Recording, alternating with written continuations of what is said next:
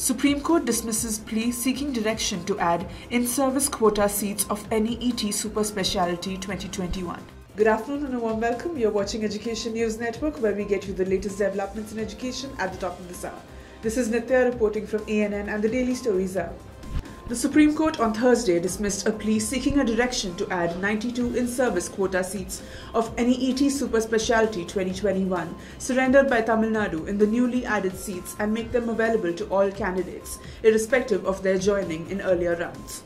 A vacation bench of Justices C.T. Ravikumar and Sudhanshu Dhulia said the top court on May 9th had allowed mop-up round for all the unfilled, stray, or vacant super specialty seats subject to the condition that any doctor who had joined seats earlier will not be allowed to join. The bench stated, we cannot go against the judgment.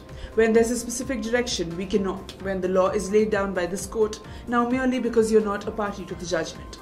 We don't think that we should proceed with the contentions raised by the petitioner any further, in light of order passed by this court.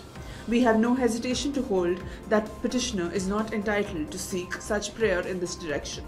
In short, such writ petition must fail and is dismissed. That's all for today. Thank you for watching Education News Network. For more such videos, do log on to our website, theenn.com, and don't forget to like, share, comment, and subscribe. Signing off, this is Nitya.